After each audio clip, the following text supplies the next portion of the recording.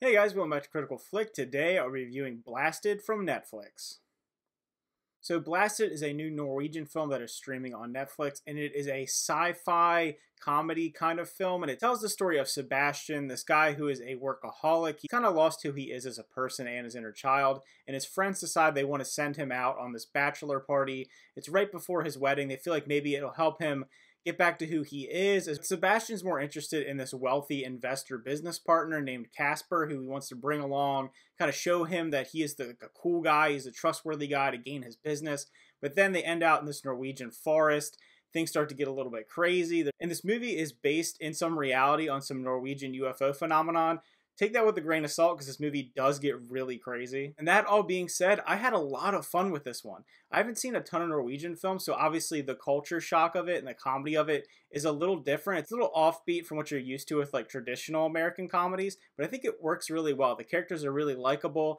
They are a little bit shallow, some more than others, but they definitely have you rooting for them. In particular, the main character, Sebastian, has a pretty good character arc from the beginning of the movie to the end. It helps him rediscover his inner child, rediscover his friendship. Because while this movie is a comedy that interjects some sci fi elements and it's over the top and zany and kind of cheesy at times, it really is a story about friendship. It's a story about finding who you are and finding what's important in life. And I really think it had some heartwarming moments along the way. And I think the messages in it come across really well. One of the areas where I think the movie could have felt really flat, but definitely didn't, was the visual effects. I didn't know with the budget of it, it being kind of an under the radar film, something that I didn't even know was coming out, if it was going to look a little too sci fi channelish. But I think it held up really well. They decided to use their budget in a way that it wasn't too overblown and too over the top. There's only two or three real scenes in the third act of the film where they go full CG with characters and elements and ships and things like that.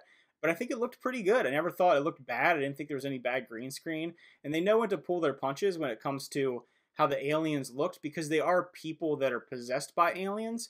Almost thinking more of like a zombie light state where their eyes are glowing and when they shoot them with lasers, kind of you see this goo fly out of them, so it never felt like it was like too overblown or doing something beyond its own means. But one thing I will say is the movie is almost two hours long and it feels like it could have been tightened up a little bit, but by no means was it boring. I was never like, oh, this movie's too long, wrap it up. I don't really, I'm not interested. It's lost my attention because there's a lot of energy to it, a lot of comedy. Like I said, the characters are really likable. The story is kind of interesting. It's a simple premise, but the way it's twisted, I really enjoyed it. It reminded me almost of something that I would have wanted to make with my friends when I was a teenager. And it takes you back to that place, at least for me.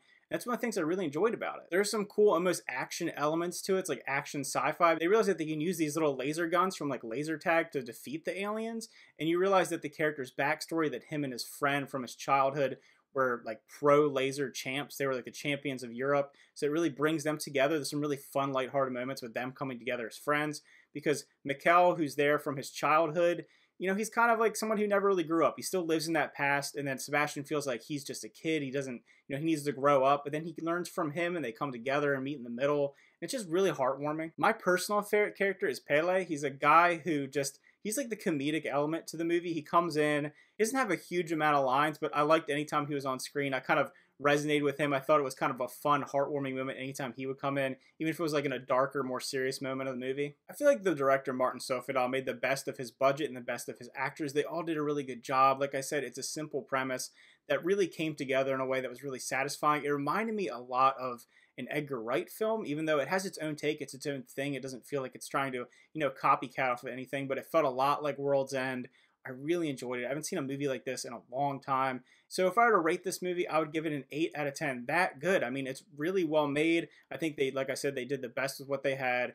I like the characters. I think the CG elements didn't look too overblown. They worked when they were used. The premise is simple but fun. There's a lot of zaniness, a lot of quirkiness to it. It's a really charming kind of little movie. I think that people should check it out. If you're someone who hasn't you know seen a movie like this in a while and you're kind of intimidated by maybe a, it's a Norwegian film, it's a foreign film. It's very accessible. It's really fun. I watched it, you know, in Norwegian with subtitles, and that worked for me. I know there's a dubbed option on Netflix, so I would definitely check it out. And if you do check it out, let me know what you think about it. Did you like it as much as I did? Did it fall a little flat for you? Leave those comments down below.